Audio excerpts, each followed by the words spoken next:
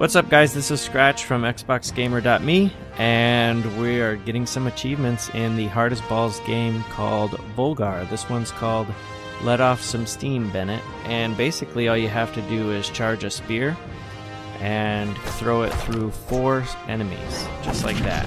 Only we need four of them in a row, and this is the very beginning of the game. So this is just, uh, if you head to the right, it just kind of shows you how to jump up on your spear and roll and all that sort of thing. So this is actually where the first part of the game really starts.